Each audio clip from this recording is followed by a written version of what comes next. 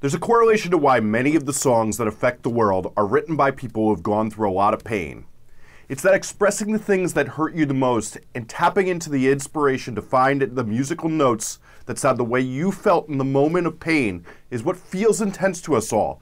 Since when you've felt immense pain and express it in a relatable way, it can really, really connect with the world. In this episode, I'm going to talk about how exposing your most intense emotions helps make songs other people connect with.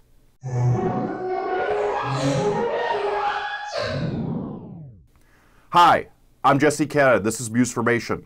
Charles Maggio is not only a member of Rorschach, one of the most influential metal and hardcore bands ever, but he also runs one of the best indie labels to ever release music, Gern Blandsten.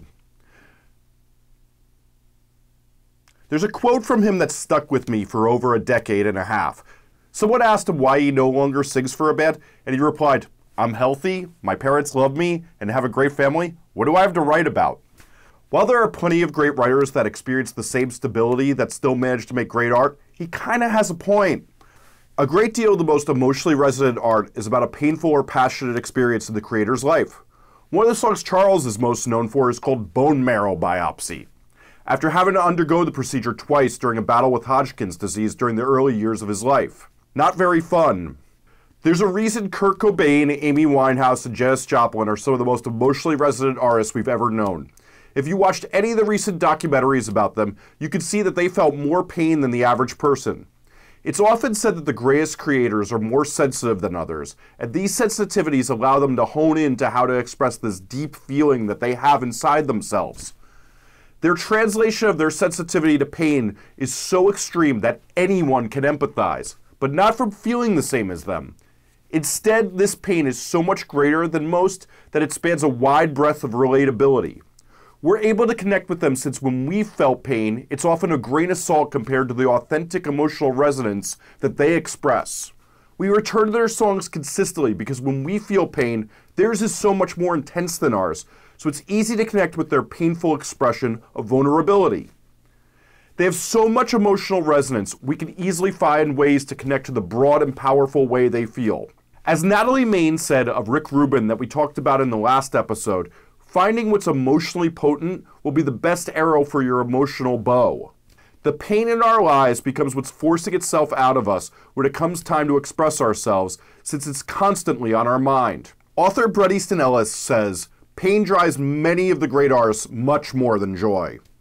When we feel passionate about a thought, we get flooded with the need to perspire, which is the clue that we should be letting this spill over into our music. The reason the most intense emotions we experience make for the most potent subjects for our music is because they're authentic experiences that motivate a passion that guides us to create. With that said, plenty of songwriters in healthy relationships can observe others' troubles and feel passion towards them that turn into an emotionally resonant perspiration. You need to be brave enough to say your most emotionally potent truth. If you want to hide how you feel yet still talk to an audience about it, there's never been a greater way to disguise it than song lyrics. But this veiling in the name of covering how you feel doesn't allow others to relate to you. Writing about what's comfortable or veiled in complexity so that you can be safe from critique isn't relatable. The lack of authenticity when you hide what you really feel is the ultimate dilution of the potency of emotional resonance. Ambiguity can feel safe, but it hinders you from authentically expressing yourself to make a connection through music. If you want to express yourself, you need to do so without fear of judgment from your audience, friends, family, or anyone else. The evidence of having to write about what you feel most passionate about can be found throughout all genres of music in your record collection if you take the time to find it. James Alex of Beach Slang talks about this being the change he made in music before starting his band. Seeing as he's the only example I know of of a musician who appeals to teens on up to those in their 40s who found success with a new band at 38 years old, the example speaks volumes to me. For those looking for a less niche example, take Beyonce's Lemonade. The emotionally potent subject in her life was Jay Z's infidelity. While it would be far easier to keep this grievance out of the public eye, she needed to voice what was most resonant with her by making lemonade when life handed her lemons.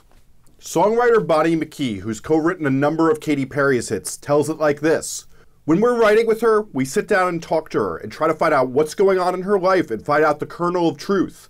I want her to sing about something she cares about. So we talk about her life and what she's going through and try to weave it into something powerful and visual. Pop star Ne-Yo has said when he hears the right song for him to sing, it has to be an emotion he's already been feeling.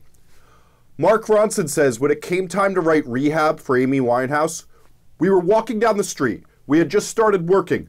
We were three days in, and she was telling me a story about some stuff that had gone down in her life. She said, Yeah, my family came over and they tried to make me go to rehab. And I was like, No, no, no. And I thought, oh shit, that's quite hooky you said that. If you're not opposed to it, we should go back into the studio and mess around with it.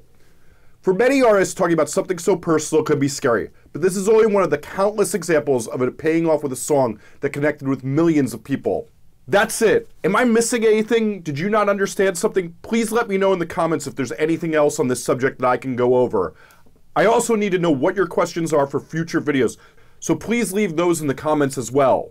I hope you liked this video, and if you did, please subscribe, get notified, and like it. I'm going to be breaking down the concepts in this video, along with many others on promoting your music and making music you're happy with in future videos. As well, I have a Facebook group that's linked below that is only helpful information for musicians. No one trying to sell you anything, no playlist or con artists, only artists having helpful discussions with each other. If you want to learn more about me, make a record with me, or check out any of my books, podcasts, or anything else I do, go to jessecannon.com and at jessecannon on all the socials. See you in the next video.